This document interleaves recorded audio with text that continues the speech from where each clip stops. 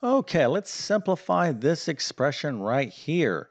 So we have 3 to the w, and this is of course in parentheses to the fourth power over z to the negative 2 times parentheses w uh, to the negative 2 power times z and parentheses uh, to the negative 2 power.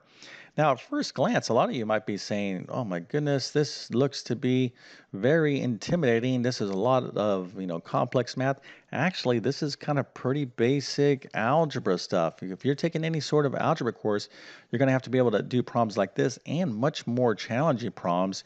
So um, if that really concerns you, well, you definitely want to stick around for what I'm going to be talking about in this video. But I'm telling you right now, uh, you, uh, this doesn't have to be that uh, overwhelming. Okay, you're going to see here in a second. And by the way, too, there's not one way to get to the right answer. So I'm going to do uh, this problem in what is probably going to be one of the most direct paths.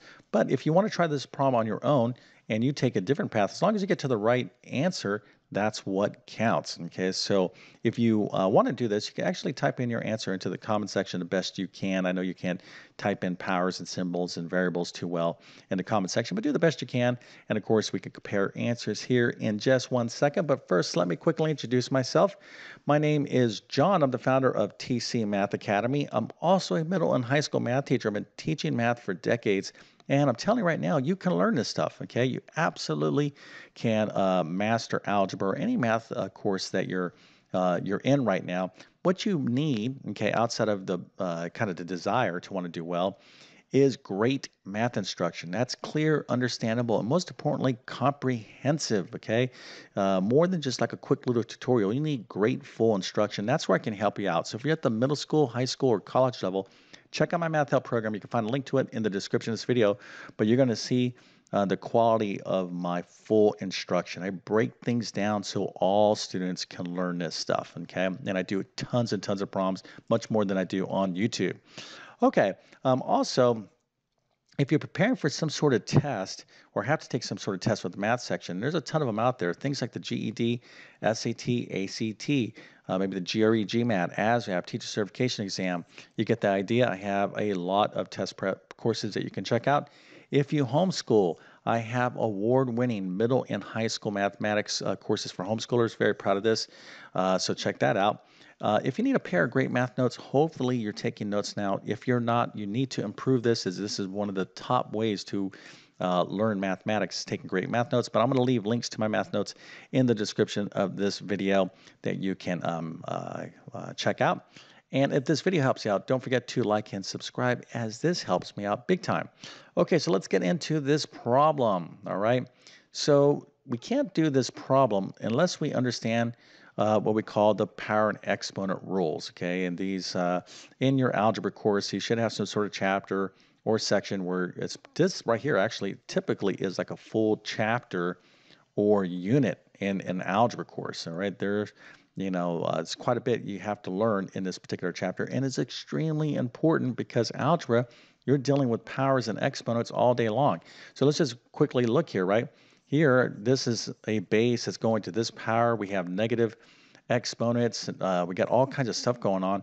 So we have to have rules uh, in order to figure this out. Okay, so these type of problems um, are problems that have to deal with powers and exponents. So let's cover the rules real fast that you're going to need to know. And uh, actually, I kind of left the rules blank just to give you a little pop quiz here. So here are the rules that you need to know. All right. So can you fill in what is the other half of the rule? So let's take a look at this right here. This would be like the product rules of powers and exponents. Okay. So a to the m times a to the n. What is the what is the result of this? Okay. I'm multiplying powers with the same base, something like 2 cubed times 2 to the fifth. Okay, what is that equal to? Hopefully you're saying, oh, that's equal to 2 to the 3 plus 5 or 8. That is correct. And the rule is a to the m times a to the n is equal to a to the m plus n. Okay, that's a formal rule of algebra. That's a pro, uh, product rule of powers. And this is an example of that. So again, a lot to know here, right? So let's go ahead and just finish this up real quick. And if you want to know more about this, I would highly suggest my Algebra 1 course. You can find that at my Math Help program. Okay, so let's talk about the division uh, rule here. So if, if I'm dividing, and by the way, these two rules, the bases are the same. Okay, this is why this is a quick little video on this one problem but this is actually a full chapter, full unit. You need to really, you know, dig in deep here because there's a lot of problems in algebra here. So I'm kind of going over this pretty quickly. So hopefully, um, you know, you're not confused, but if you are, follow up and get beyond this video. All right, so a to the m, okay, divided by a to the n is going to be equal to a to the m minus n. Here, we're going to be subtracting exponents. It's always the numerator uh, first. Okay, I'm going to subtract away the denominator exponent. All right, so for example, 2 to the fifth divided by 2 to the third. Again, bases are the same. If this was 2 to the fifth divided by 3 to the cubed, I couldn't do this problem because the 2 and the 3 are, are, are different, different bases. But here, the bases are the same. So this is 2 to the 5 minus 3, or 2 squared. That's an illustration of that rule. Okay, so let's go over here, a to the n to the m. Okay, this is uh, equal to a to the n times m, uh, m. So that would be an example like 2 cubed to the fifth would be equal to 2 to the 15th. Okay, that's 5 times 3 or 15. So this is another rule you need to know. a to the negative n, okay, that's equal to 1 over a to the nth power. This rule here gives a lot of students confusion.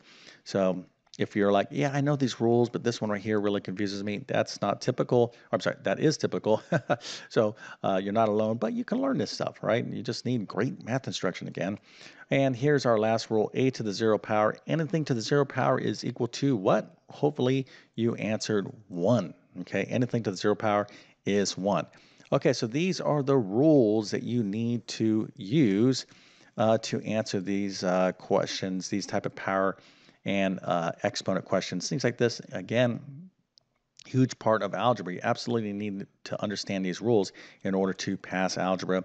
And now let's go ahead and get into our problem. Okay.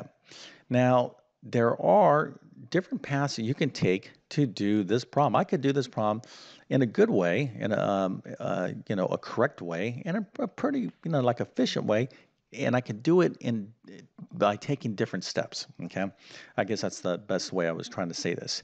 So if you know you if you did this problem, if you want to try this problem using those rules I just showed you, and you took steps that are different than what I'm going to show you right here, and you get to the right answer, that's perfectly correct. Now, what you want to do, okay, is to completely uh, simplify this thing until you are until you basically can't take any more steps, okay, and you don't want to leave uh, any of your answers with a negative exponent. In other words, if you your final answer was m to the negative 2, you would not be done. You would have to go 1 over w to the 2 power. Okay, so if you left your answer here, typically teachers are like, no, you're not done. Uh, get rid of that negative exponent. So go until you can't go any further. That's what it means to simplify. Okay, so let's go ahead and get going here. And I'm going to start right over here.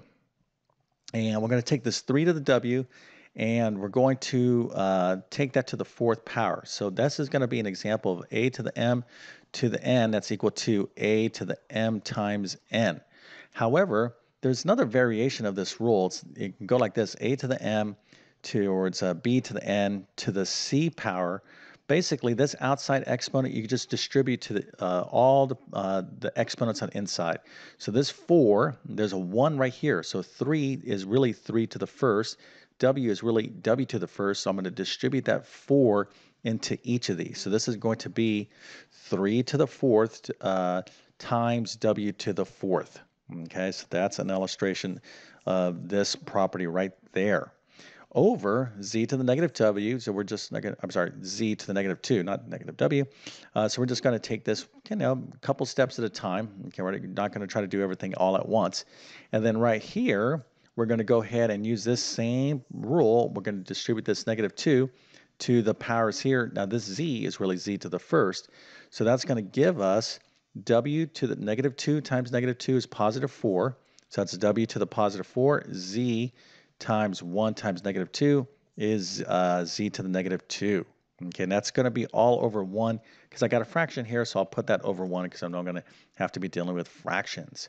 Okay, so if you understand what I just did, you're like, nope, I get that. That's excellent. Matter of fact, that was the first movie you made, or first couple movies you made. That's very, very good. All right, so now let's go ahead and uh, take the next step.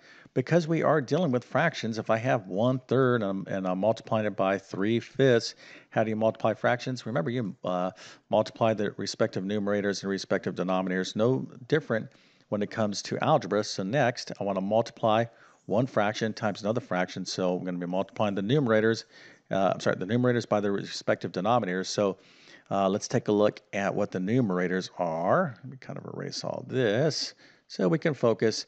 All right, so my numerator is going to be this times this times this times this. So let's just write this all out. 3 to the fourth times w to the fourth times another w to the fourth times z to the negative 2. That's my numerator.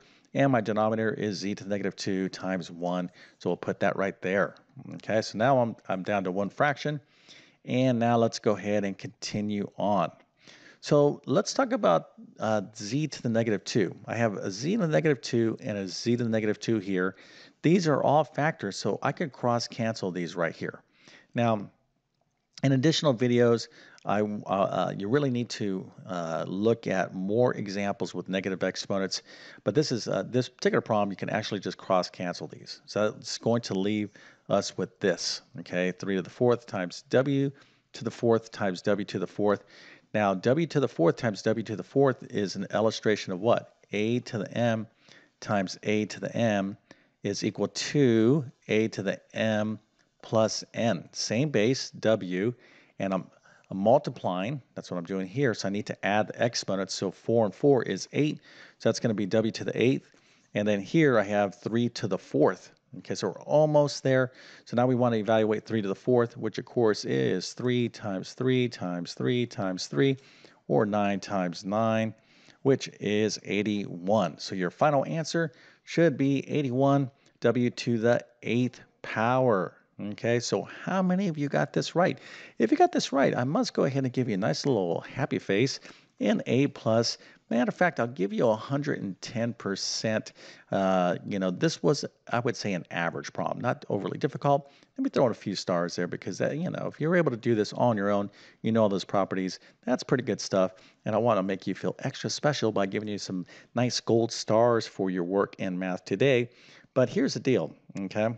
Your ability to work with exponents, powers, all this stuff is absolutely critical to your success in uh, algebra and any math that you plan to take beyond algebra. Okay, this is, you know, critical stuff here.